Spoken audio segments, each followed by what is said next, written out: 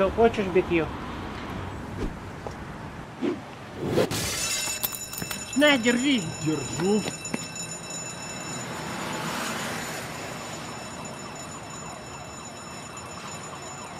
Купи телевизор BQ со скидкой. Промокод и ссылка в описании ролика. Всем привет! Сегодня у нас немножко строительных хитростей для домашнего мастера. Поехали! Если вы что-то строите или вам необходимо нарезать много-много маленьких элементов одной длины, то на торцовочной пиле сделать это очень просто. Достаточно выставить брусок на необходимом расстоянии, прижать его струбциной и отрезать первую заготовку. Затем проверить, убедиться, что все верно и уже далее, просто прижимая доску, сделать нужное количество одинаковых элементов.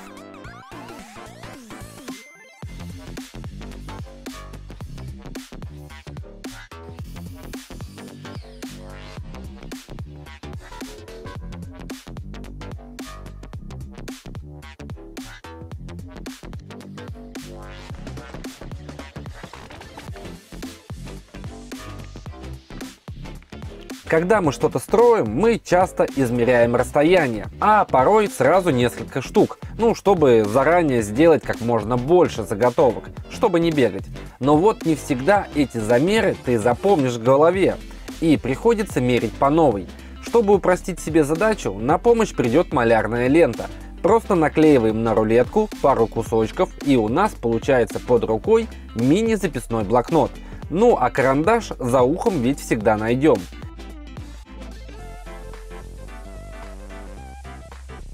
И теперь, измеряя расстояние, сразу записываем их. Ведь именно с этой рулеткой мы пойдем отрезать заготовки. И все размеры у нас на виду. При необходимости можно обклеить рулетку с двух сторон. Ну а обновляется записная книжка за считанные секунды.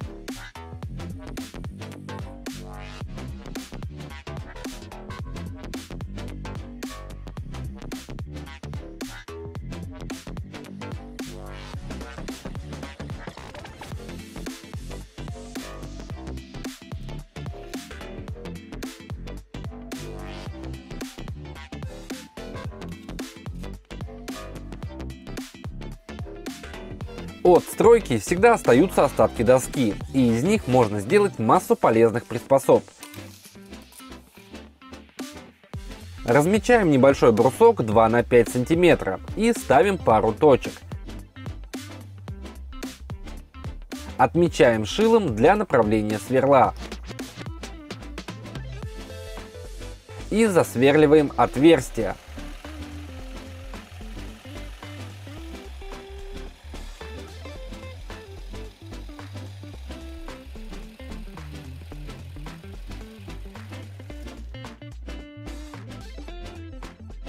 После этого добавляем в один край еще один брусок и закрепляем его.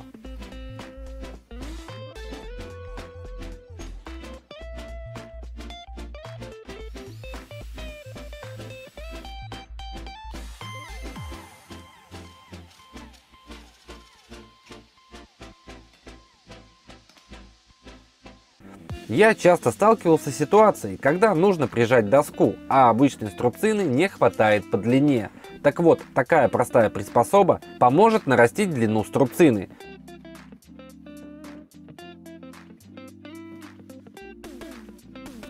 Можно также использовать при склейке досок, но тут понадобится еще одна рейка сверху, и тогда полет отличный.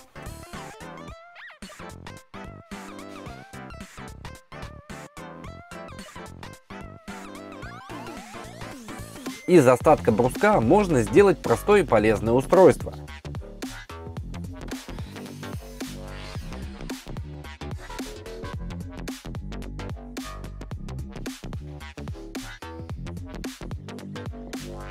Для этого размечаем центр, накалываем шилом и засверливаем отверстие.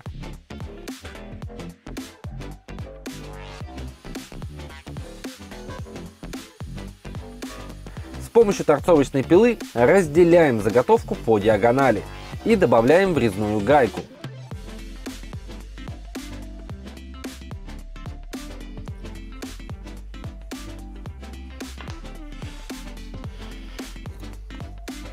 Осталось вставить болт шайбой и приспособление готово, которое позволяет расклинить две опоры и регулировать расстояние чуть ли не по миллиметрам. Удобно при установке дверей, Спокойно можно ловить уровень.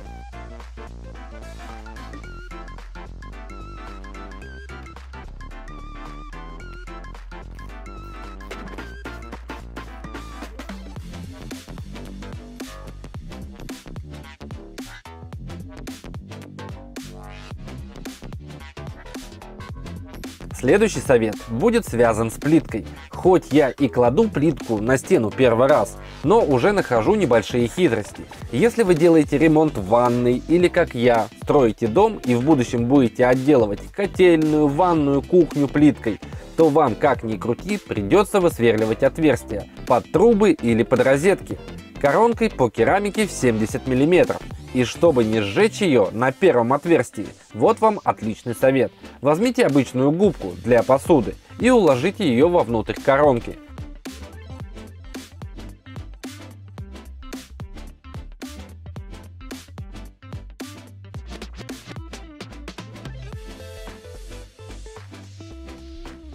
Теперь спокойно окуните в банку с водой. И таким образом при сверлении с губки будет выжиматься водичка и охлаждать коронку. И она прослужит вам намного дольше. А какие вы знаете хитрости при работе с плиткой? Делитесь советами, друзья, в комментах. Самые лучшие возьму в ролик и отмечу каждого автора. Потому что для меня это сейчас, ну, очень актуально. Поставьте лайк, если видео было полезным, спасибо за просмотр, подписывайтесь на канал, ну а я пошел дальше укладывать плитку в котельный. Всем пока-пока!